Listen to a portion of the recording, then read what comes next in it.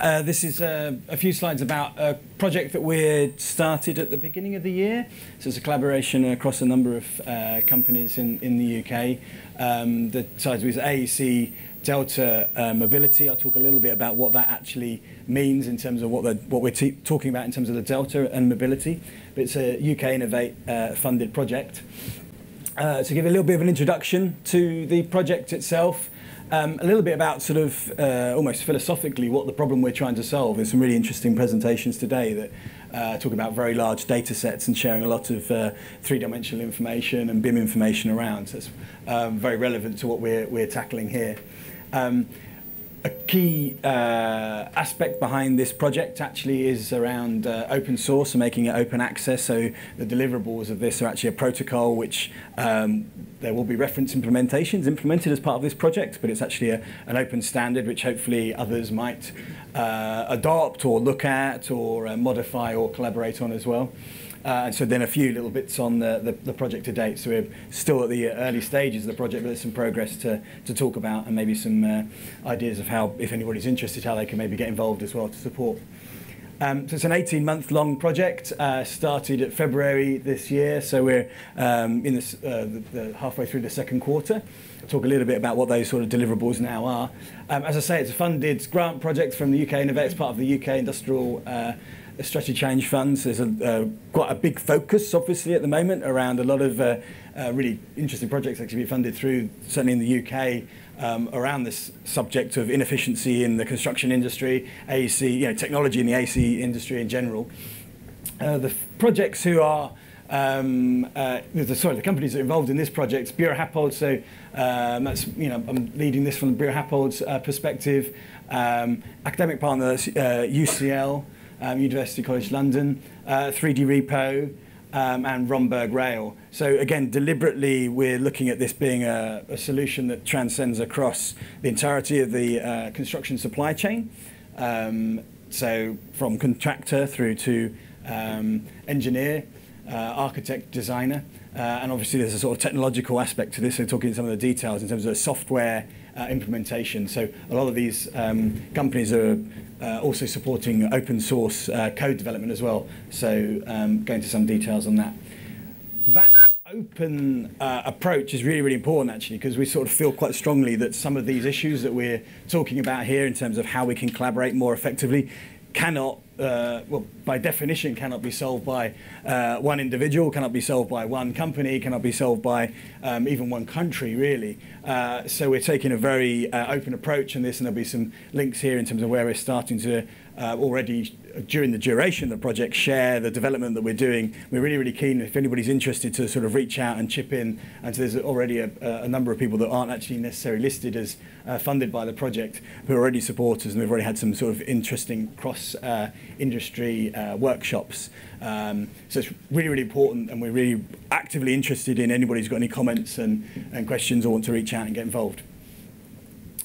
Um, and so that ilk, this is the, uh, the specifications as we develop them are all accessible on uh, GitHub. That's uh, AEC Delta's web, website there. Um, so all of the material here that we're developing, the specifications will be licensed under MIT license going forward as well. And so there's already some um, early stages of us developing the software requirements. So um, again, those will continue to evolve throughout the duration of the project. So um, really keen to get others sort of um, coming in and chipping into that. So what is the deliverables of the project? Well, uh, the key thing is going to be a specification for uh, a, uh, what we're calling a delta. I'll talk a little bit about that, what that is, but it's the change between two, two models. So be a, a, an open specification for how anyone could implement that for, for their own software. Um, equally, how that can then interact with other other software. Uh, most likely, that's going to be through an um, open uh, REST API specification. Um, so any of these software can all actually talk to each other um, remotely. Um, and then finally, um, that, well, those are the primary deliverables. Is going to be open implementations that uh, specifications that anyone else could implement. Uh, but equally, there are going to be um, open source reference implementations as well. Obviously, so we can actually, you know, stress test these concepts and uh, run this on some real, real case studies as well. So that was all possibly a little bit abstract. So maybe try and make it um, in a little bit more spe specificity. What is the problem we're trying to solve? And that specifically is saying, how do we share information? So how do we share information now? Well, um, at the moment, it's really, you know, input into the system is a file of some sort chunked up as a large piece of data. Maybe that's an entire Revit model, maybe there's a QGIS model, uh, maybe that's actually, you know, just a large IFC model. Whatever that is, a large, you know, um, file, uh, file of information. That then gets modified. I might make some changes to that and then share back that modified model or that modified file in its entirety. Um, that's obviously quite challenging for a number of reasons. One is we're sharing these incredibly large file models around, sharing large data sets. Uh, so it's inefficient in terms of the data payloads that we're managing. Tracking changes and can then be problematic. How do I know actually what's come through into my inbox, what has actually changed? Um, that's uh, inherently potentially inefficient for design coordination. So on the deltas, the very specific thing we're doing is starting to say, well, can we break open these files and not be transactional on a file-based um, level, but actually on the individual uh, uh, parts of that file, whether that's objects or individual elements within that file. So very specifically, it's saying, can we break that open so then we can compare what came in, the input, with what's going out, and then very easily do a diffing, basically, very similar to how a lot of version control systems work, GitHub works in the software industry, and say, well, actually, it's only this part of it, maybe that's one object, maybe you've shared with me a, a large model and you've made modification to one column, and so actually it's only the column that I need to share with you in a very efficient way obviously there's an inherent uh, efficiency in terms of the payloads there. We're now able to potentially share much smaller amounts of information. Um, but also actually there's a whole lot, lot other additional benefits there to have co clearer coordination. You know what you're sync, uh, synchronizing, easier to track those changes. Uh, you get that for free. Um, very clear authorship and uh, history, uh, history tracking as well can be done down to the individual, individual modifications.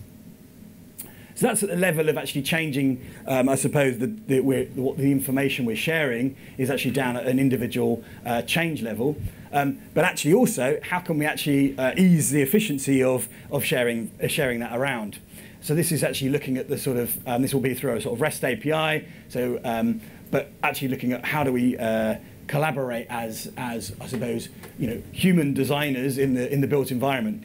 So here's one scenario which is, hello, I'm Alice, I've got some information coming in, maybe it's some files. I then say I'm going to packet up this information as a stream, share that um, out as S0 and give access to my friend Bernard and say, hey, I've created this stream S0. Uh, do you want to have access? Do you want to have a look at it? Bernard then goes, hey, this is great. He then takes in some other results from somewhere else and, and makes actually a modif modification of that S0 and makes there another stream, um, S1, which is may maybe some modification of that. Uh, he then can share that with two of his colleagues, which are Calvin and Dina. Ultimately, then Calvin goes, this is really good, and wants to then report out with uh, S1.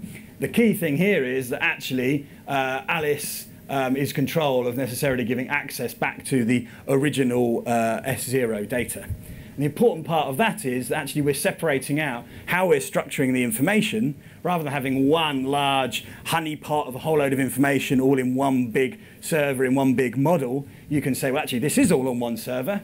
Or actually, you could say, no, no, these are actually on separate servers. So we're giving that flexibility to kind of say decentralize, democratize how people are owning their own data, actually in control of who has access to which parts of parts of the submodels. So these these pieces of information could be coordinated, but they don't necessarily all have to be in the same in the same physical uh, model or on the same server. So that's the principle of what we're uh, developing. So that's the sort of delta part of it and the mobility part of it. It's, as I say, it's all based on open source code, uh, data and protocols. Um, in addition to the documentation here, these are the three um, uh, reference code bases that we'll be, we are using to do the reference implementation. So that's um, Speckleworks, which is speckle.works there, um, bhom.xyz, Buildings and Habitats Object Model, um, and uh, 3drepo.com. So they're all open source under different uh, varying uh, open source licenses. Um, so they're all available. We're going to have a look at those now. And we're uh, part of the consortium is collaborating to then use those open source code to um, create a reference implementation. So a bit of an update where we are at now. Uh, so the first thing is we've been looking at the actual user requirements. And this is saying from actually what are the requirements that we actually need in order to make this actually useful and fit for purpose. So looking at actually the different actors in this, uh, whether it's uh, uh, users from you know, a planner, a design coordinator, project manager, consultant engineer. I mean, a lot of the examples we saw today into really interesting scenarios there to say how could actually this model actually work to make that a much more um, efficient uh, and seamless um, collaboration. Uh, in addition to that, we're looking at what actually is this diffing that's going on. At what level are we diffing, and what are the comparisons that we're making? So there's a very simple sort of object level comparison. I've got this big collection of objects, uh, um, sorry, collection level comparisons, big collection of objects here. I then modify some of those objects, and you're brutally just saying, those objects have changed. Don't know how they've changed, but hey, they've changed.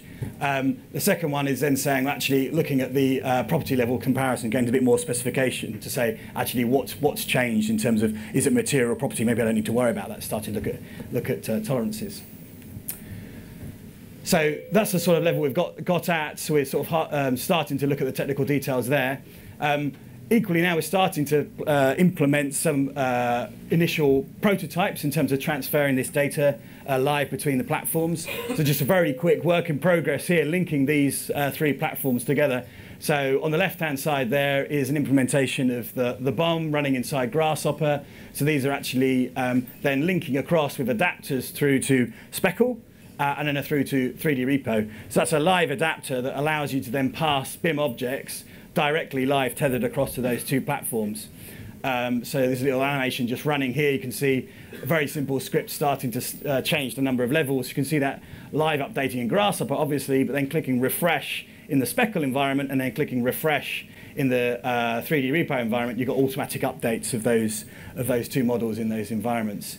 Equally, because this is actually running on uh, a proper BIM, uh, BIM representation of data, this is not just geometry, uh, you can actually say, well, I'm changing a section size. So it's actually changing the diameter to a proper you know, new column section. And you can see that's also live streaming across. As soon as you click um, refresh, you're getting those live updates. So that's early prototype work in progress, but you can imagine now some of the examples that we've seen earlier today in terms of ripping back some of the issues as well, pulling those back and being able to live um, coordinate between those different models. So that's a quick introduction, uh, a few of the links there. Um, and we are really, really interested in uh, you know, this is you know other people sort of coming in and saying actually uh, uh, feeding into the to the resources that we're doing there. It's all open source, um, so do take a look at those links. Thank you very much.